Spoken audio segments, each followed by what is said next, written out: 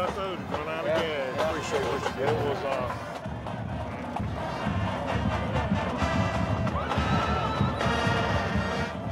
Get him over here. Come on, guy. A win's a win. You hear me? A win's a win. Ain't too hard. You work too hard. When you win, you got to get excited. Got something to say, 20? My apologies to the team and the fans. Uh, we messed up on that kickoff, and we're going to uh, play smarter. 4.0 GPA, ranked 10 in the class. Apologize for dropping. I dropped three, and I dropped two punt returns. I couldn't return. You ain't got to worry about the punt returns anymore, son. Wyndham's going to be in there the rest of the year, baby. Hey, great game, defense. Thank y'all for coming out that second half and letting the offense do their work. All right, guys, appreciate it. great game. Called, called the shutout. Called the shutout. They got one first down in the second half. One. You hear me? Coach Graves, you got something? 8 o'clock, guys. I'm, I'm glad we found the goose that laid the golden egg up there. I wanted to see a lot more of those eggs. That's first one. That's first first zeros we've had in a long time, and we still didn't play well the first half. Right? We're not playing up to our potential for four quarters. We're playing two quarters at a time. If we get to where we play four quarters, we'll be okay. Touch somebody, Will. Where are you? You gonna lead us in prayer, Will? Touch somebody. I pray that you just be with us the rest of the season. Watch everybody home, get home safe tonight. In Jesus' name we pray. Amen.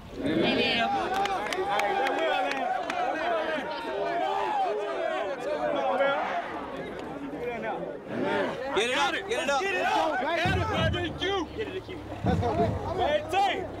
18 on 3. 18 on 3. 1, 2, 3. 18.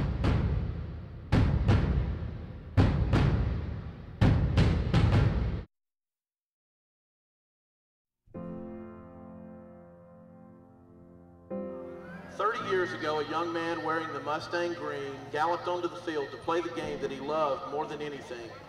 He was a player of very few words because his actions spoke louder than his words.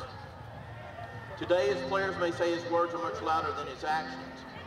Number 88 is our own, very own defensive coordinator, Coach Wayne Graves. Now, we're not going to start out flopping sides. If he starts giving you a lot of trouble, we'll start putting Desmond on 85, okay? I'll bust him in the mouth. He won't give you no trouble. Going back. Hit!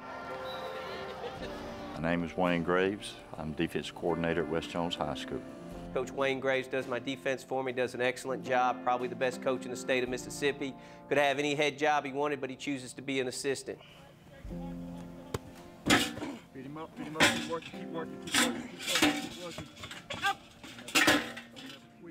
You may beat me, but you won't outwork me. And that's all I try to do is try to work a little bit harder than everybody else does. I've been a football coach for 24 years.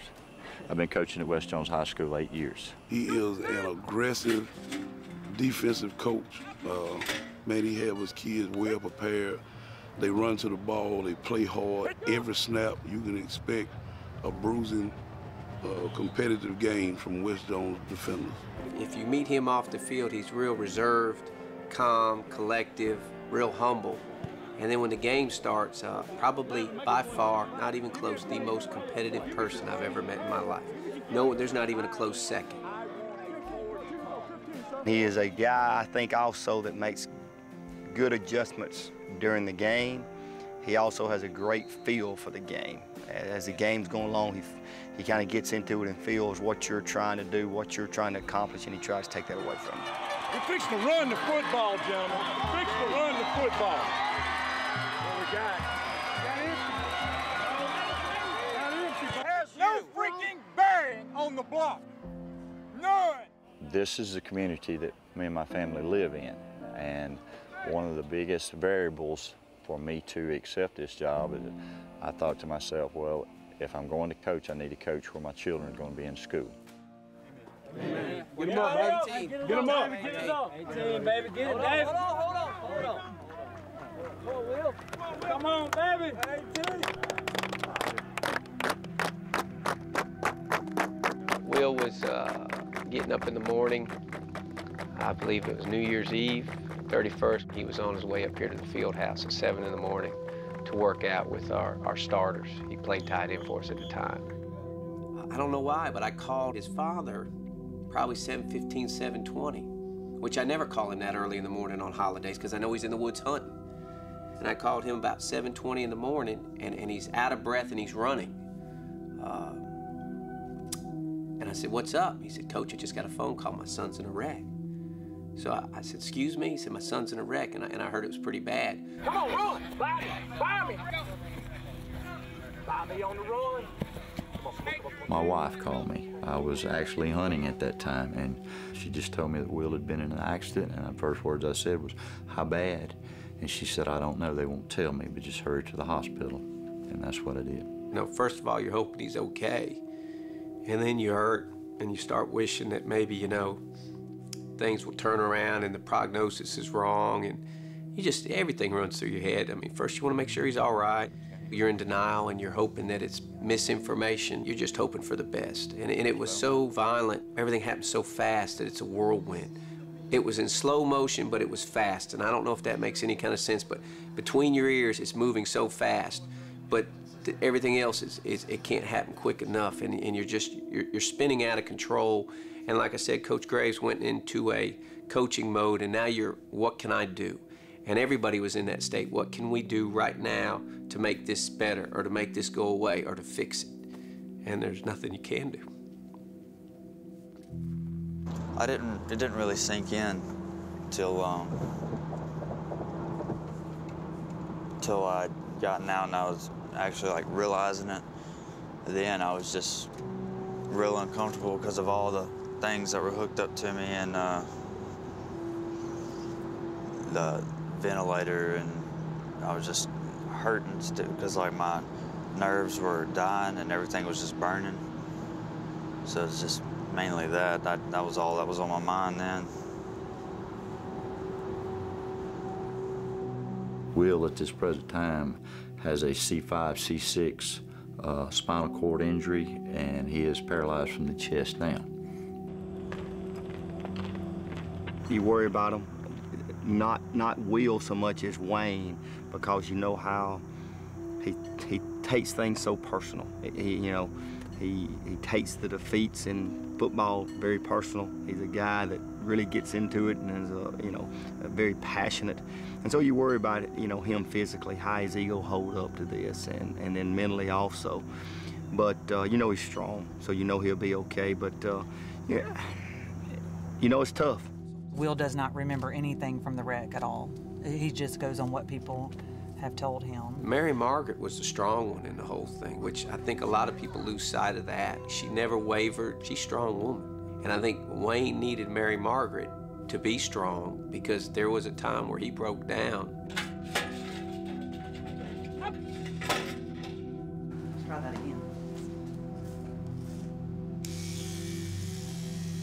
My wife is catching the blunt of having to carry Will to therapy every day, you know, taking care of Will at, at night, you know, where, because I may not get home to seven or eight or two or three in the morning, just depending on what night it is.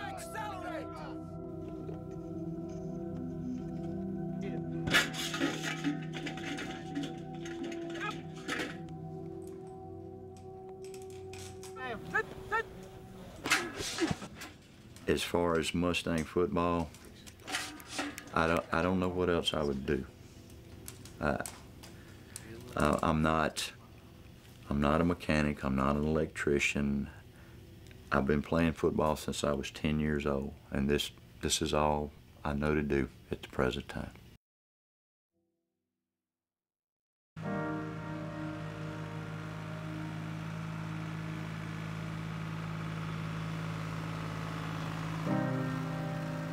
George County this Friday night, first home game in our new stadium on the turf. Uh, we're really excited about that. Always a tough game. Great program at George County. Uh, played for a state championship two years ago in uh, 5A classification. Usually a big crowd, uh, a lot of atmosphere, uh, very energetic game.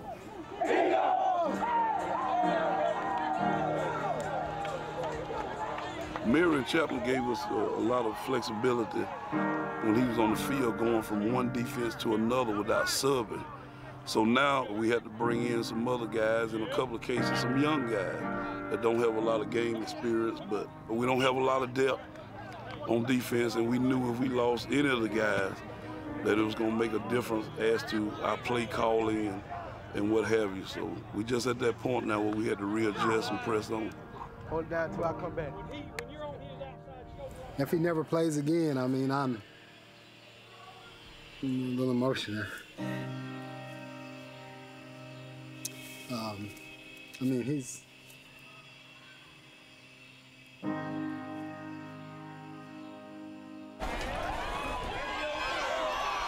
Marion's a big part of our defense. He may be one of our smartest players that we've got on defense. Marion's the kind of kid you, you don't want to you don't want to be without. Not very long, anyway. Coming up to make the play for the War Eagles was Marion Chapman. If he doesn't play again, you know, uh, I can handle it because I do have memories and um, I do know what he's capable of doing and what he can do. And I mean, I'm just proud of him. I'm afraid of disappointing my dad all the time. Cause me disappointing him is disappoints me. So I always try to make him happy so I can be happy. If the doctor tells me I can put on a brace and play, I will. I've had kids been able to play with a brace the entire season, and and you know they did fine. I've had others that uh, were not able to play with a brace. So a lot of it also is a mental part of it. Can they get used to the brace? Are they mentally, you know, tough enough to put the injury out of their mind and understand that you know everything's gonna be okay? Tonight, you will witness history as the War Eagles host the first game ever on the newly installed EnviroTurf field. I decided I'll come back in two weeks, Stone County game. After physical therapy and a little more hard work, I'm gonna be ready to play. First game at home, first game on a new field. Ain't no better way to break it in with a big victory now, okay?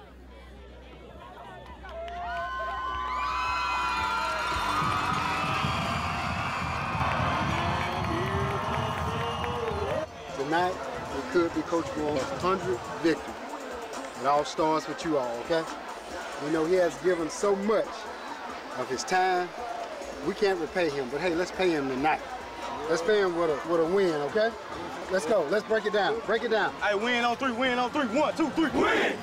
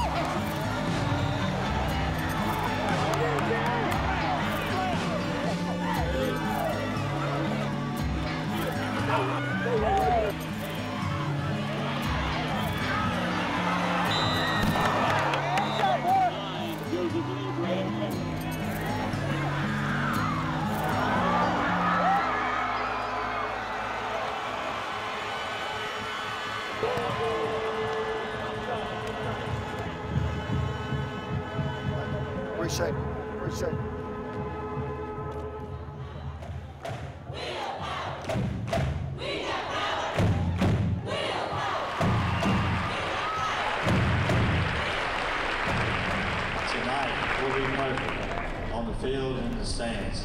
Y'all come out and you'll be loud because they've been practicing real hard. And I promise we will be perfect.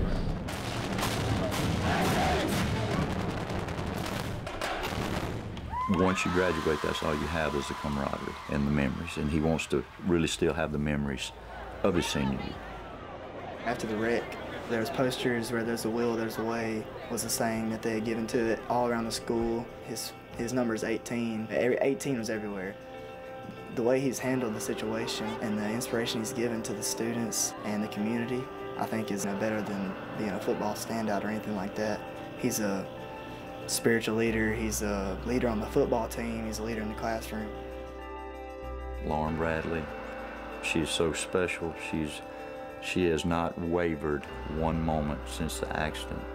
He's not just the boyfriend you go and it's just all googly butterflies. He's the best friend. I talk to him more than I do my own family.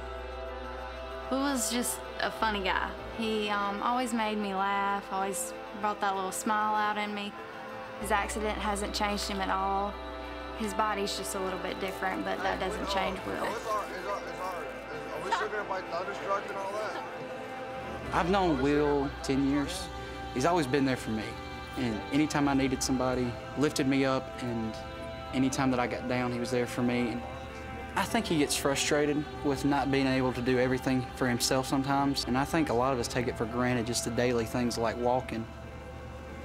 Anytime I get tired or, any, or just everything's not going our way, I just think of Will and think of the adversity that he pushes through every day. I still have that hope in the back of my mind that he's still going to get up one day and walk. I couldn't ask for him to have any better friends than what he has. So he's extremely blessed.